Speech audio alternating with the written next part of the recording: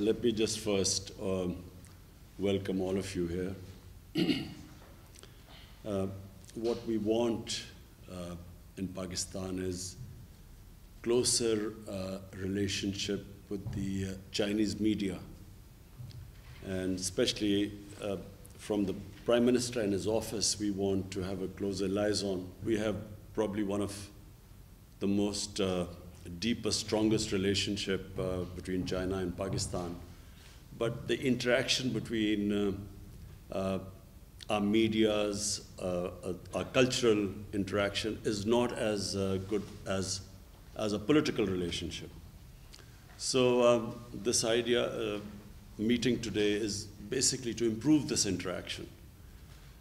Um, I, I especially want to take this occasion to um, congratulate China and the Communist Party. I think on its 100th, uh, it is uh, the anniversary of uh, uh the CPC. Uh, also, uh, in Pakistan, we admire President Xi Jinping as one of the great statesmen of the modern world. we have admiration for him in Pakistan for two particular reasons. One, his commitment uh, to fight corruption, the, the commitment that uh, a society uh, must be, there must be rule of law in a society. In other words, uh, the powerful must be brought under the law. And corruption is, uh, when it destroys a country, it is when there is a corrupt elite which does not bring itself under the rule of law, and they are the ones who do the maximum damage. So I have uh, watched the corruption drive, anti-corruption drive of uh, President Xi Jinping, and we here in Pakistan are very impressed by the way he has uh, so many high-level uh, officials, ministerial-level people have been um, held accountable for their, uh, for, their for, for their corruption. Secondly, and the most uh, remarkable thing about um, China, which we all admire, is that the way they have brought so many millions of people out of poverty. The figure we are told is uh, almost uh, 700 million people have been brought out, brought out of poverty in the last uh, six, seven years. And recently, uh, China announced that China has finally eliminated uh, extreme poverty. So this is, I think, uh, one of the most remarkable achievements of any human society. I don't think there is any precedent in history of uh, a society achieving these great goals. Uh, and the third thing is that we in Pakistan are committed uh, to strengthen our relationship with China politically as well as uh, in terms of economy and trade. CPEC is a flagship program uh, uh, in the BRI, and for Pakistan, it is one of a program which gives us the greatest optimism and hope for our future economic development. And we, are, we have a high-level committee now to, to follow the CPEC projects.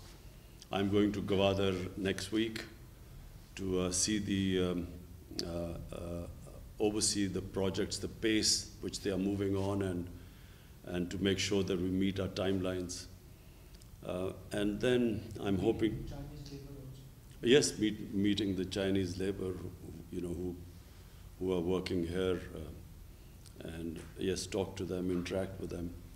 Uh, but also, um, I look forward to my trip to, to uh, China, which is in the offing in the next month, two months, and to further strengthen both our political uh, ties and our economic ties. Please go ahead. So, uh, as Your Highness just to say, that uh, the, in 2020, the Communist Party uh, already make a huge success in helping its people eliminate, in, eliminate poverty.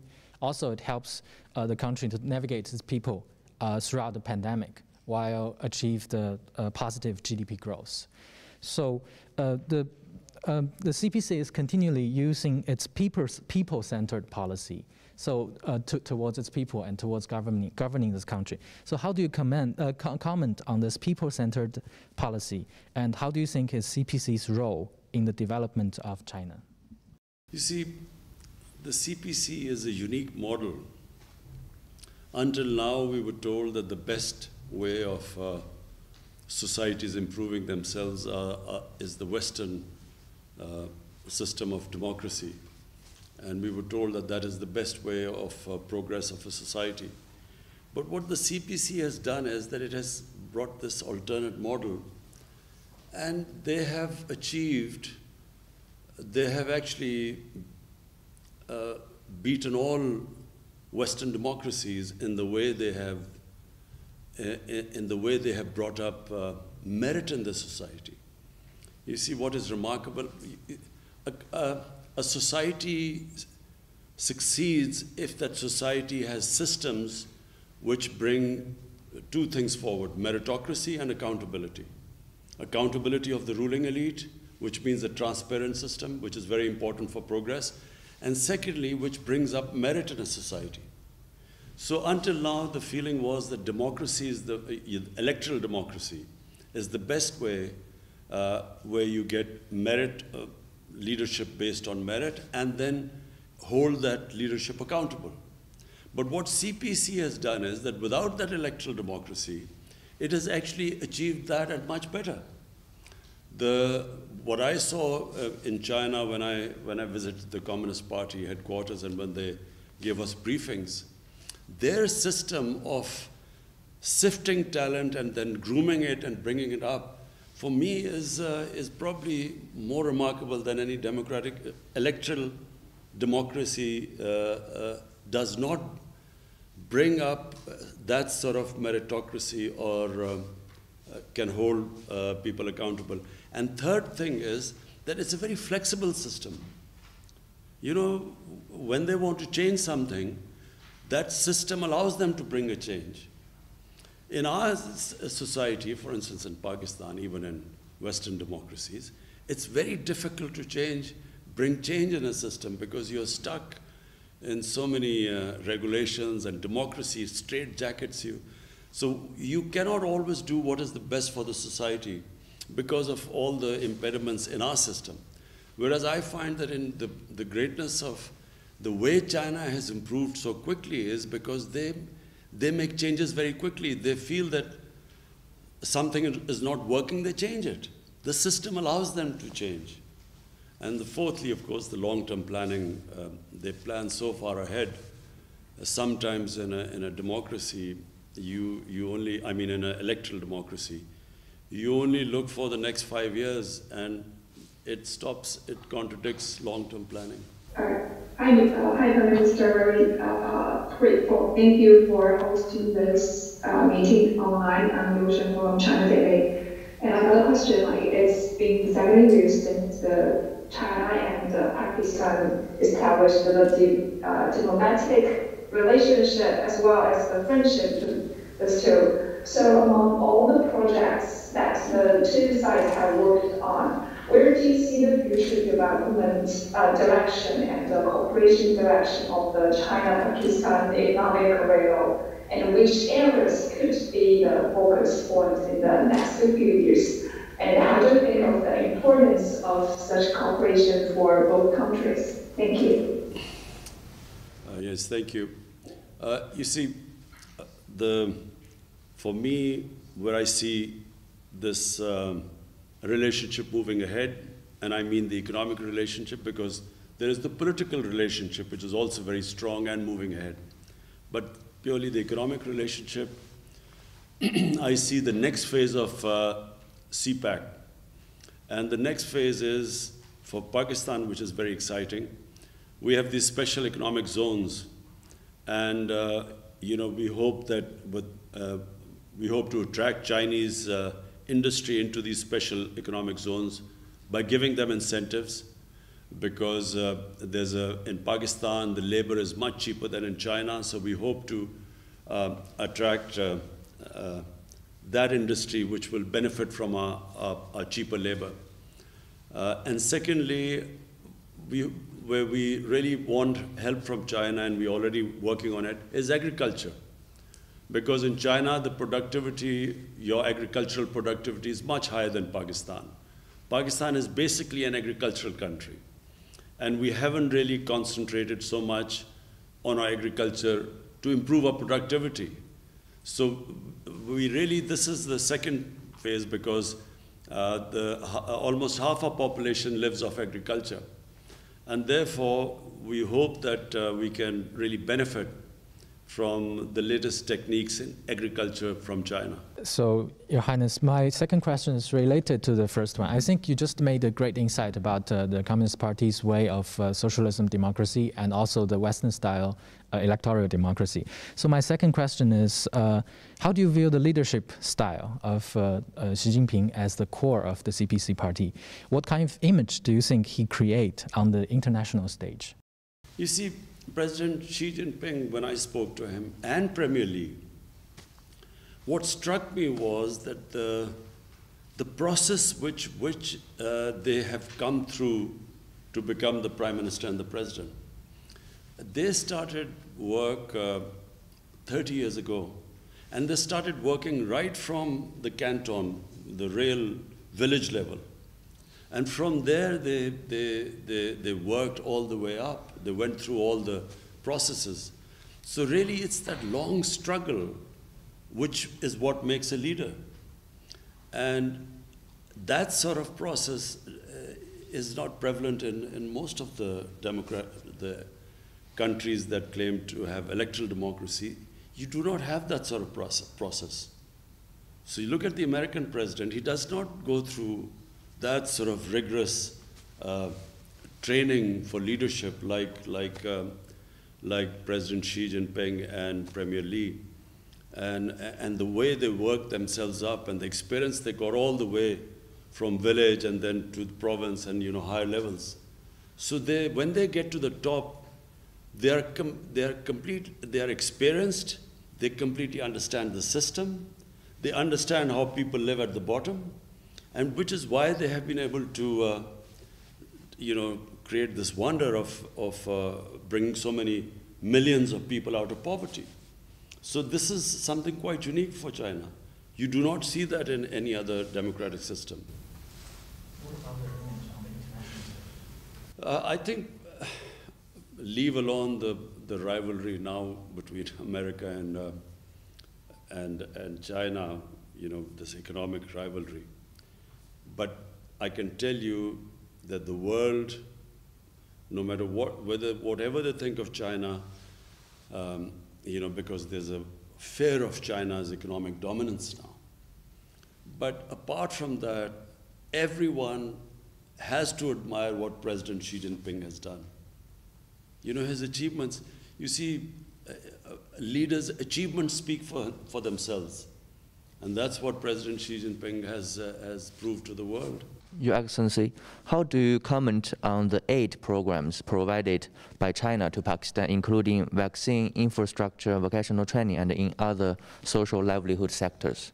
I think, uh, you know, first of all, the way China dealt with uh, uh, COVID was unique. I mean, consider, considering that this, this uh, pandemic started in China, the way China coped with it and then when you look at the rest of the world, you know, China really stands out in the way they, they dealt with this pandemic. Uh, and we must, we are very thankful to China because, um, you know, uh, the way they helped us, the way they donated uh, the vaccine to us. Uh, and really, it's one, Pakistan is one of, uh, after China, Pakistan is one of those countries which has actually done very well uh, in the way that we dealt with the uh, pandemic, the way which we coped with it. So Pakistan stands out, you know, in this whole region. Uh, and one of the reasons is that China provided us the, the, the vaccine very early on, and where we uh, immediately vaccinated the health workers. The first thing we did was vaccinate the health workers, and then went for the vulnerable groups. So, you know, the people who were most at risk uh, and we were all worried about were the health workers, because you know they had to deal with, uh, with, with the patients.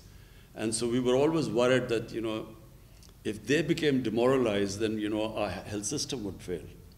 So when we were able to, thanks to China, we were able to vaccinate them, that gives, gave us a lot of confidence. My name is Liu Xin. It's a great pleasure to be able to talk to you, even via Zoom, on this very prosperous occasion when China is celebrating the 100th anniversary of the founding of the CPC. But this year is also a very special year for China and Pakistan, as both countries are celebrating 70 years of diplomatic relations, 70 years of friendship.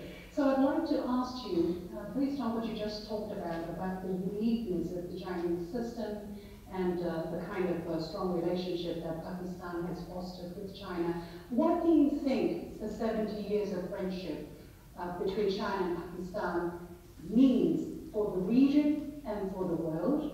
And where do you see relations going further? How to deepen these already very strong ties? Thank you very much. Thank you.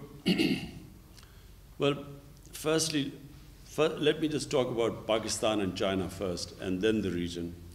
For Pakistan, uh, uh, there was always a very special relationship with China, although our relationship started 70 years ago. But, you know, China, whenever Pakistan was in trouble, whenever I'm, I'm in trouble politically, internationally, when we had conflicts with our neighbor, China always stood with us. So the people of China have a special place in the hearts of people of Pakistan. Because the, everyone here remembers, you know, you only, you only remember a friend who stands with you in your difficult times. In good times, everyone stands with you. But in, in your difficult, tough times, bad times, you remember those people who stood by you. That's why you will find that in, in Pakistan, they, people always have a special fondness for people of China. So this relationship has only got stronger. Even now, politically, uh, you know, on, on the uh, international forums, Pakistan and China always stand together.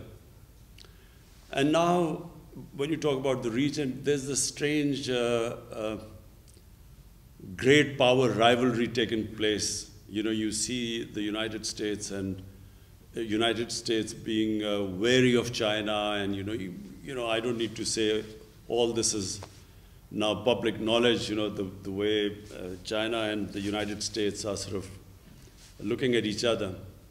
Uh, it, so it creates problem because what United States is doing is it's, form, it's formed this uh, re regional uh, alliance called the Quad, which is U.S. India, and then you know a couple of other countries.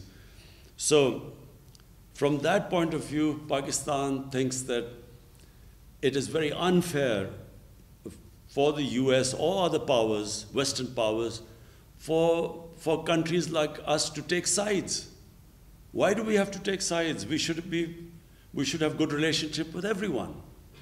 And you know, it's not going to happen that if Pakistan is if uh, there's pressure put on Pakistan to change its relationship or, or, or, or uh, downgrade its relationship with China, it won't happen because the relationship between Pakistan and China is very deep. And it's, it's not just the governments, it's a people-to-people -people relationship. So um, uh, to, uh, to sum up, whatever will happen our relationship between the two countries, no matter what pressure is put on us, is not going to change.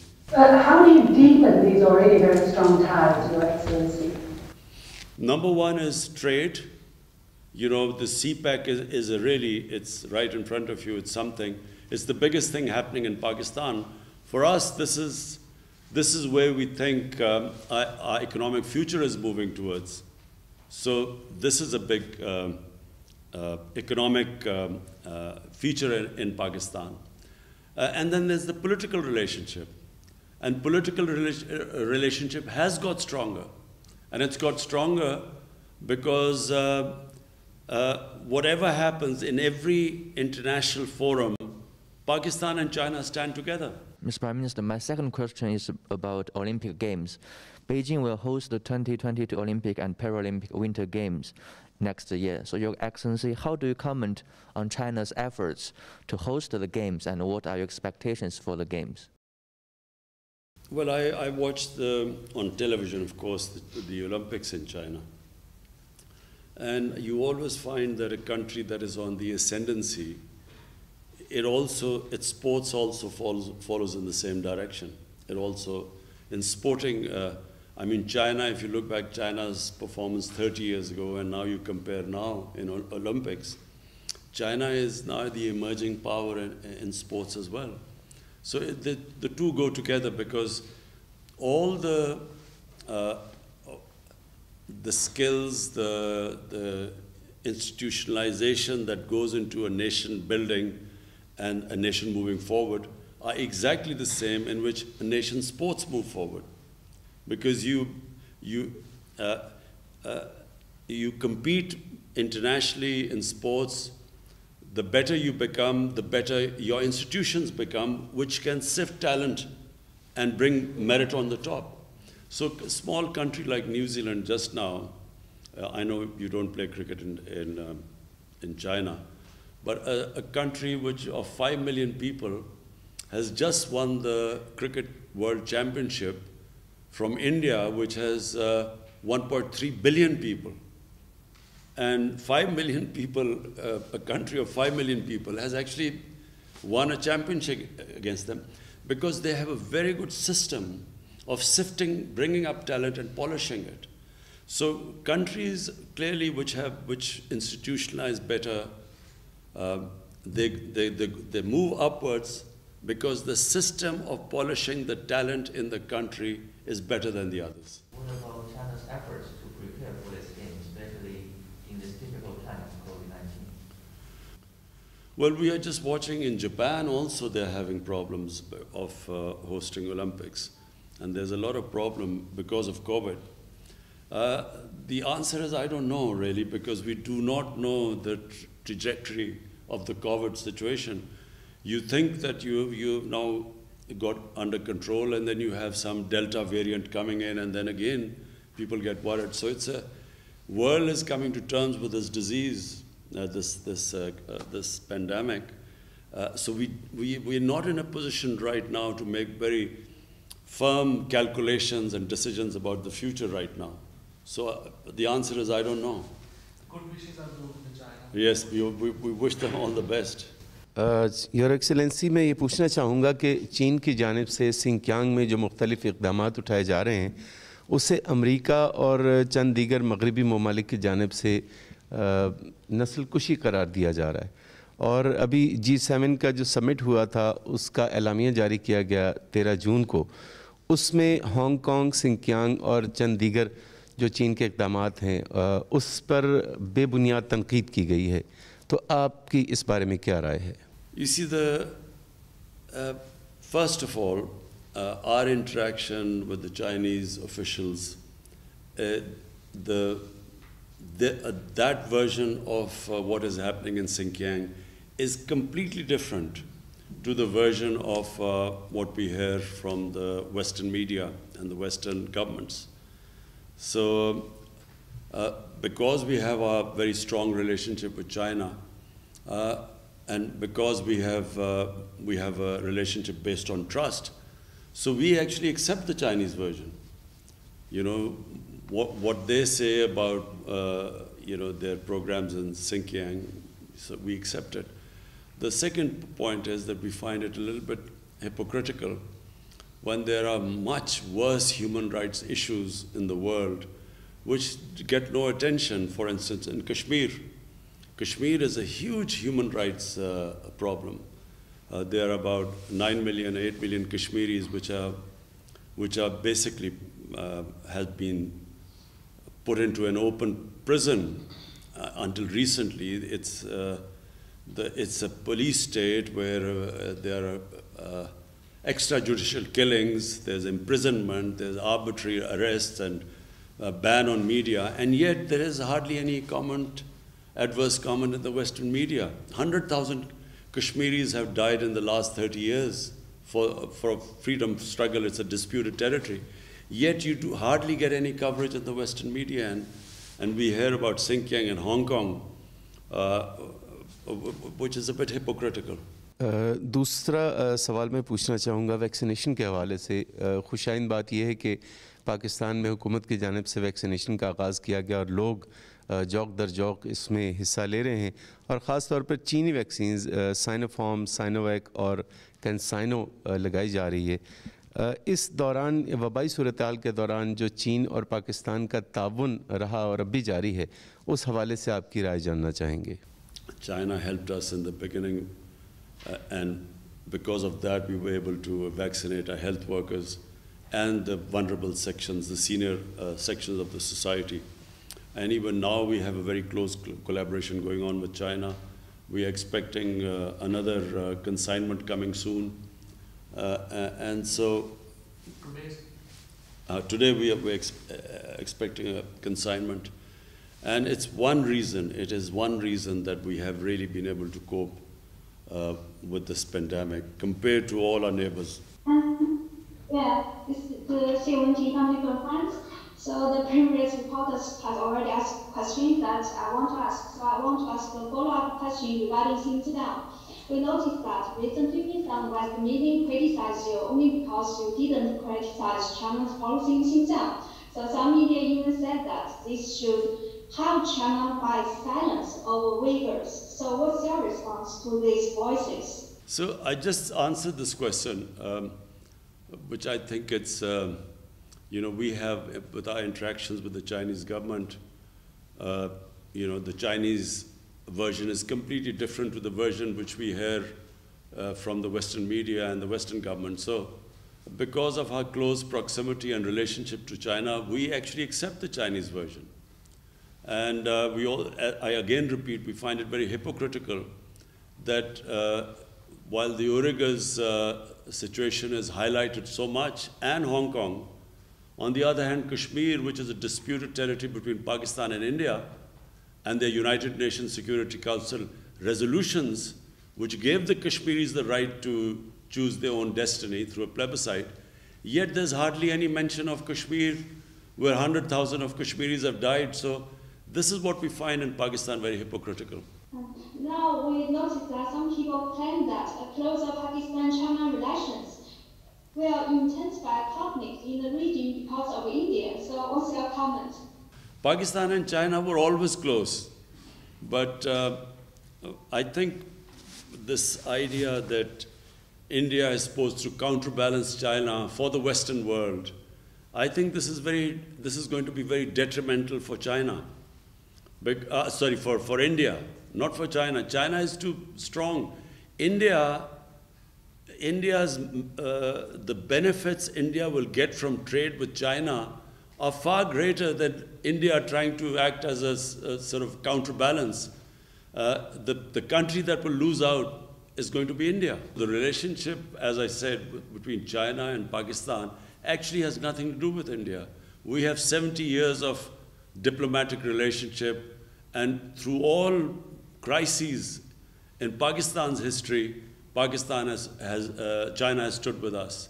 So it really has nothing to do with India. Our relationship is uh, a, a, bilateral relationship is extremely strong. His Excellency, my question is uh, uh, now Pakistan and China have set an example for the world about solidarity and cooperation in facing the global challenges.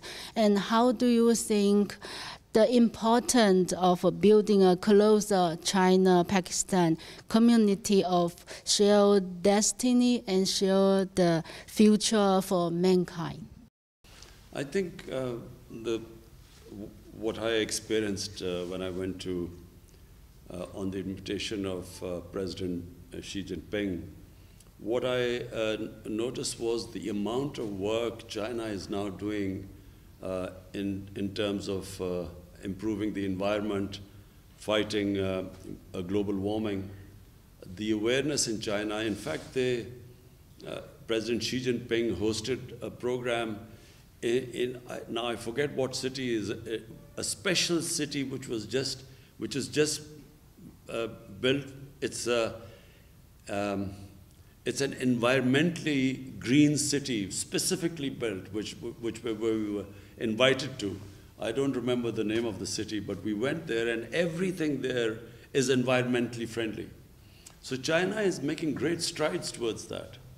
And I think the future of mankind, the biggest threat mankind faces is through this uh, climate change, global warming. Uh, and, and China really, uh, when it hosted, when President Xi Jinping hosted this conference, he invited leaders from all over the world, and it was just, the theme was how to uh, save mankind from this catastrophe, which is called climate change and global warming. Yes. Thank you so much, Excellency, for giving us this opportunity, and it's really great honor for us. Uh, so, uh, my question is that the first phase of China-Pakistan Economic Corridor (CPEC) yields fruitful results in different areas, including energy and infrastructure. First, how do you comment on this? And second, how will China and Pakistan cooperate to ensure the success of second phase of CPEC? Especially, how do you see Sino-Pak economic growth? Thank you, Excellency. Firstly, uh, you know, the first phase of CPEC was connectivity, and then uh, energy, uh, energy um, projects. So that was the first phase because Pakistan had problems with, we were shortage of energy. And, and then, of course, the connectivity, uh, which, which is what the CPEC initially was. Now, the second phase is now deeper cooperation. And that is, we special, for, from Pakistan point of view, the, the uh, uh, special economic zones and the idea is to attract investment into these special economic zones, which will help employment in Pakistan, improve our growth rate, create wealth for our country. But equally important for us is help from uh, China in, uh, in our agriculture. Now, as a, half of our, uh, our population lives off agriculture, and the productivity of our agriculture, unfortunately, is extremely low. So we have compared uh, the productivity in China, which compared to us is much higher, and then all the uh, various technologies which are used in agriculture. So the second phase is for us our special economic zones, uh, agriculture, also skills education. We are collaborating in, in, in uh, getting uh, skills education in Pakistan. How you will speed up this China-Pakistan economic cooperation? We have already, uh, now we formed a committee which is, the whole point of that committee, the CPEC committee, is to monitor the, uh, the CPEC projects and make sure that there are no impediments in their way. Um, Your, Your Excellency, my last question is about the future, the near future of international relations as we're seeing with the new U.S. administration, there seems to be the talk of uh, alliance of like-minded countries to counter some kind of a, you know, other system or country. Uh, what is your understanding? How do you look at the trend, and uh, what do you think is the implication if such a trend really picks up momentum? I find this uh, deeply worrying for the world. I find this uh, rivalry uh, for no rhyme or reason.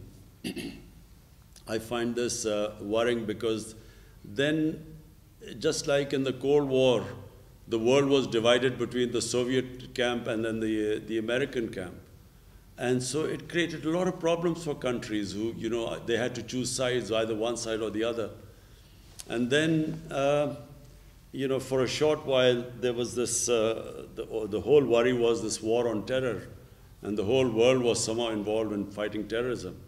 And now we see this emerging rivalry between China and the Western countries led by the US. Again, it's worrying.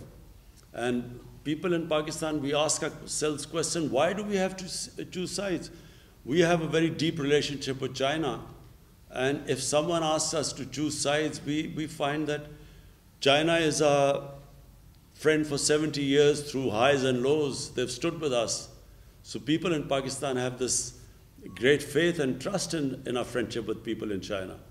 So why should we be asked to take sides now? Why can't we have relationship with everyone?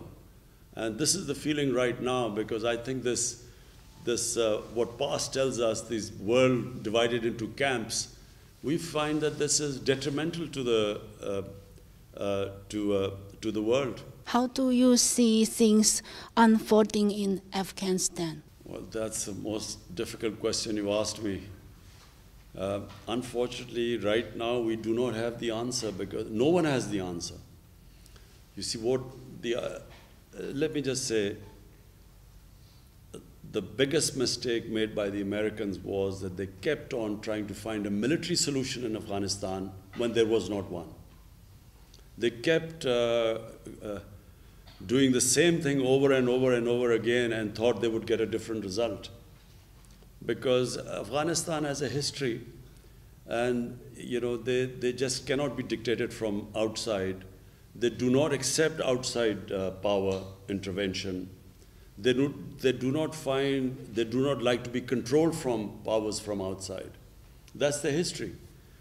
And so even when countries have conquered Afghanistan, like British did in the 19th century, and then the uh, Russians invaded, uh, Soviets invaded Afghanistan in the 20th century. You can invade in Afghanistan, but to keep, when you st stay there, it is very difficult to control the country because they are very independent-minded people. So this war, on, uh, this war in Afghanistan went on too long. It has created deep divisions in the Afghan society.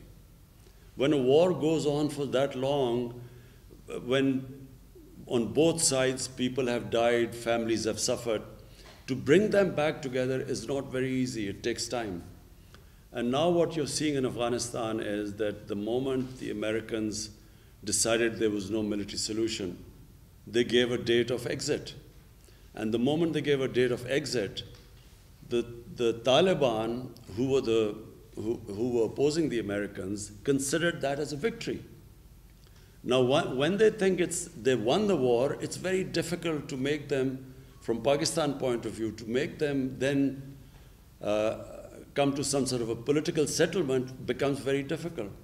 One, because if the war went on too long, there are deep divisions. Secondly, once they feel they won the war, it's very difficult to make them now get back together.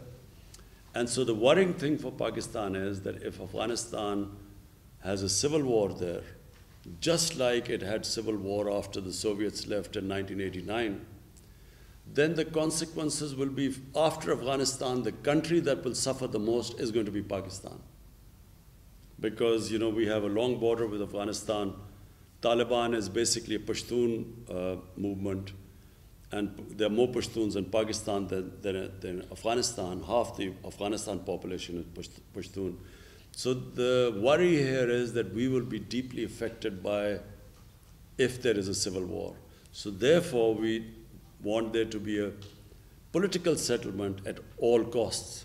So before uh, concluding this session, I would like to inform uh, the media uh, that Prime Minister has written a special congratulatory letter to Prime Minister, uh, to President Xi on CPC's 100 years, 100 years anniversary.